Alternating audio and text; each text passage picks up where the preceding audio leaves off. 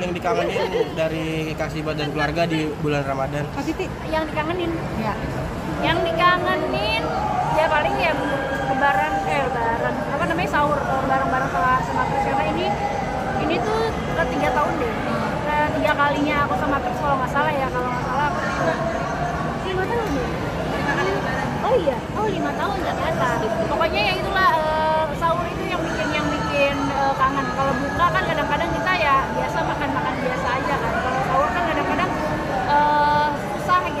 untuk menyatukan kekuatan untuk bersahur bersama-sama tuh susah gitu nah, itu itu yang kita kangenin Ngambil kerjaan juga? Ngambil kerjaan nggak? Ambil job. Job. Eh, enggak Kalau beberapa sih beberapa nggak nggak semuanya aku ambil sih Eh, kebetulan kita aja yang kerja dulu ya dia kan lagi skripsi Tapi biasanya kalau sahur gitu eh, bikin makanan sendiri apa disiapin ART sih kak? Hmm, enggak lah. Disiapin lah, ada yang siapin. Aku aku kalau aku eh, spesialis buka puasa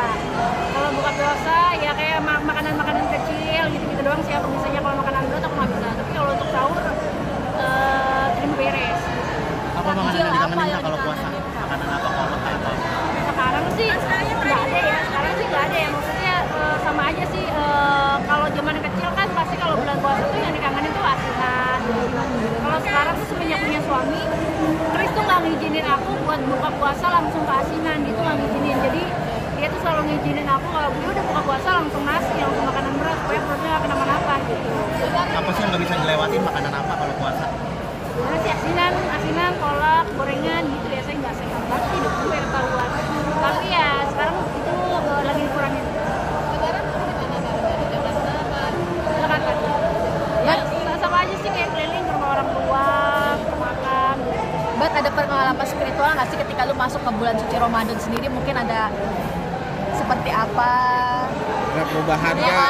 Mau pakai hijab gitu? Keluar dikit dong.